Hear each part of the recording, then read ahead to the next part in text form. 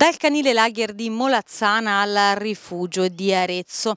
È una storia fortunatamente a lieto fine, quella di questi sei cagnolini che adesso cercano famiglia.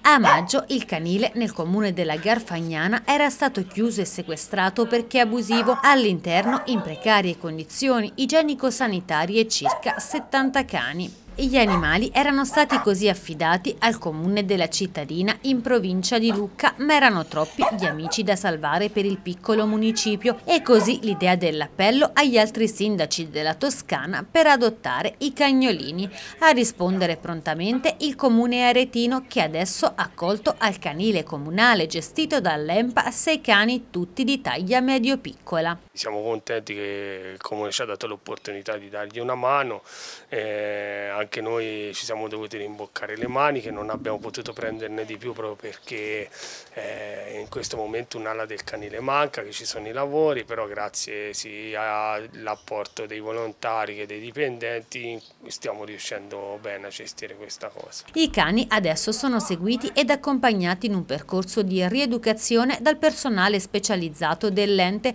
che ne valuterà il momento giusto per l'adozione. Eh, come avete visto già sono molto migliorati alcuni di loro e devono fidarsi delle persone, solo che vivendo allo Stato Brado eh, non hanno mai conosciuto guinzagli, non hanno mai conosciuto il contatto, cioè, ci, non abbiamo un tempo, ci potrebbe volere settimane come mesi, eh, però per ora le risposte sono molto buone.